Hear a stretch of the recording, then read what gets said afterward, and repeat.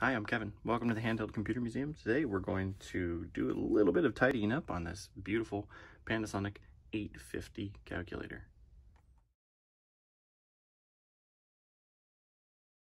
If you take a close look, it's not terrible, but there's definitely some grime going on around the keys and kind of at the edge of the keys, um, especially right around this uh, power switch, right in this little lip here. Um, so it's really superficial stuff. I don't really see too much else yeah, a little bit of grime in that pad there.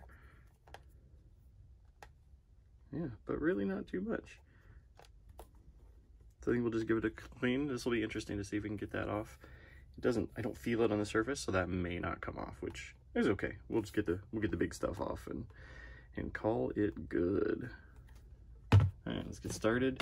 Got some basic kind of all, all-purpose cleaner. Got the alcohol if we need to get in a little harder microfiber cloth. Toothbrush is always handy for something that's not abrasive, but will kind of get into some of the places that something like a Q-tip may not. Uh, so first, you know, I think I'm going to get in around around this area. Well, I'll just give it a general kind of spray and once over and then see what I can get with just that and then and then go from there. I try to be pretty ginger. I don't want to don't want to strip anything off of it. I mean, I'm not worried about mint condition devices, but I definitely don't want to make them worse, you know, if I don't have to. A lot of times with paper towels, I'll just kind of bunch them up and force them into little cracks and crevices. And sometimes that's enough to get the gunk out, which is definitely the case. So you can see some of the gunk there.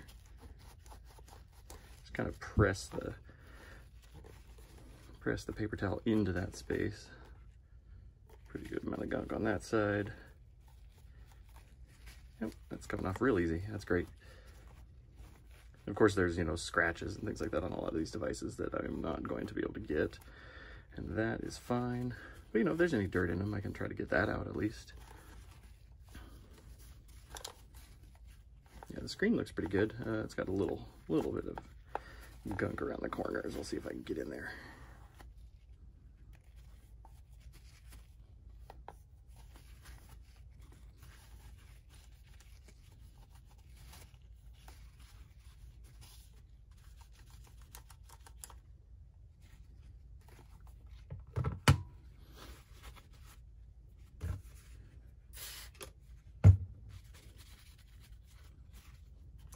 I'm just going around the edge now to see if there's any kind of loose, um, just loose bits that I can kind of wipe off. Let's see if this bottom part will come off at all. Yeah, I have a feeling that's kind of discoloration that it looks like a stain. Yeah, that's not going to come off with at least this cleaner. I might try the alcohol on that and just see. But again, I'm going to be trying not to make things worse. That's for sure.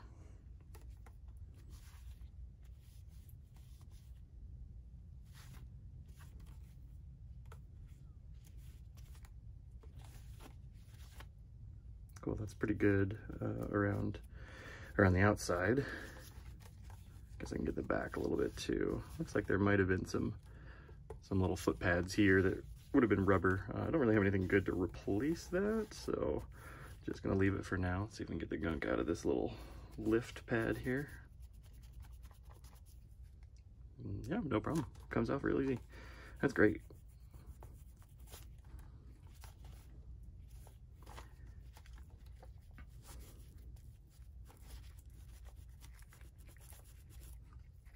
Yeah, it's pretty easy to get in with a Q-tip and things like that, but Q-tips are actually not very strong.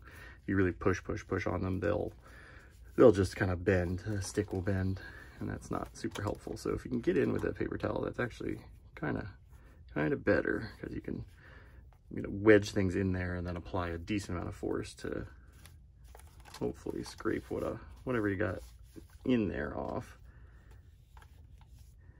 And these are nice Nice stickers too. I'm not really super worried about them. They're kind of the metallic print. Um, I've had a couple stickers that are a little cheaper. They were clearly cheaper and I actually kind of rubbed a little bit off. So I'm not gonna, not gonna force it, but these seem pretty decent. So anyway, cool. That's not the part I really need to worry about. So around the keys over here, you can kind of see there's a bit of a bit of gunk in there, mostly to the edges, a little bit around the keyboard, the, each key. Uh, so that'll be a little difficult to get to, but let's get the big stuff first, and then if we need to get into anything else we can, that's totally fine.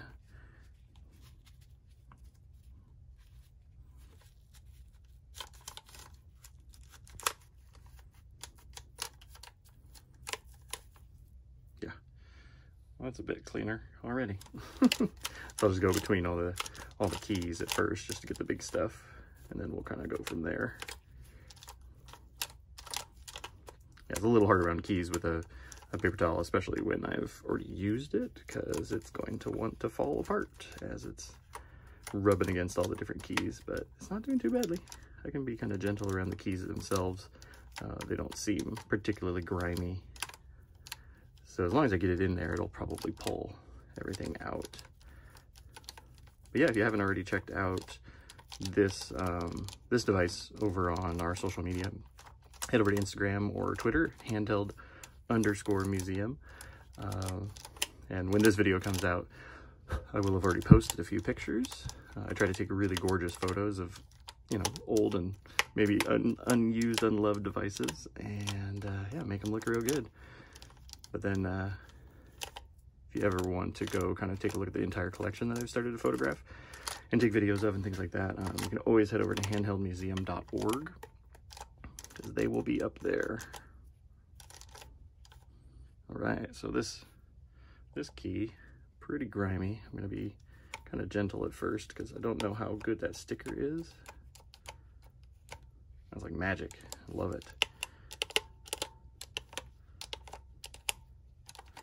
So, and I'm leaving a bit of uh, kind of junk behind with this paper towel, but I'll get in and wipe that all out in a second I think that's pretty good.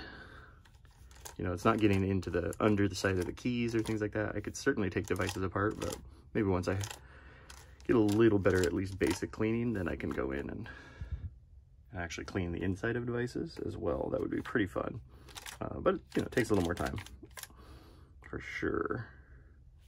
Right, that's not bad. Cool. So I'm going to get in here with a microfiber cloth just to see if I can get all the kind of paper towel fuzz out of here.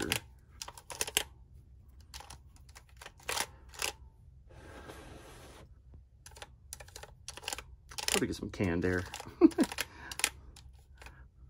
Whatever the case, I'll try to try to lower the audio so it doesn't blast your ears if you're in headphones. That's no fun.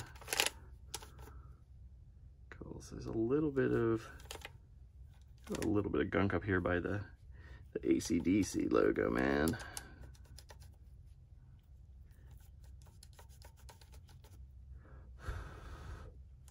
That kind of, I think that made it a little better. I think this is looking pretty good, except for that, except for that uh, stain kind of on that bottom area.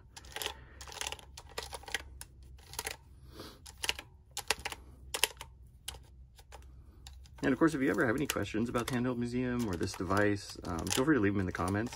Or like I said, hit us up on social media. It's, you know, it's a personal passion to collect handheld devices. I think it's really fun to go back really far with these kinds of early computers, uh, especially design-wise. But, but yeah, you know, I'll take a look at anything modern, you know, up to up to now, because I think it's all valuable to the history of all this um, this computing that kind of goes with us. Right, that is not too shabby. So I'm gonna see, I'm gonna get some alcohol on this bottom part and see if I can make that any better.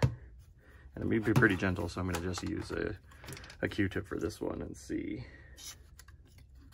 see if it starts to come off and then go from there. Kind of doubt it. In all honesty, I could probably take this thing apart and do some retro brighting on it, but I've never retro anything, so that will have to be for a later video. Don't think that's coming off.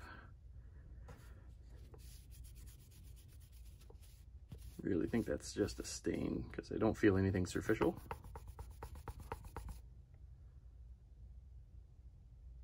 Yeah. I'm just going to leave that and I will not photograph that side. but yeah, there you have it. That's a Panasonic 850. Um, I think it looks a lot better already. Pretty cool. I'll probably do some, you know, other little wipe downs just to make sure I can get some of the junk out. But frankly, you know, if I have, if I have little artifacts in here that are dust and grime, I'll take them out with Photoshop. Thanks so much for watching. Check us out on social media, Instagram, Twitter, handheld underscore museum to take a look at all the gorgeous glamour shots of these devices. And you can always hit us up on our website, handheldmuseum.org. Take care.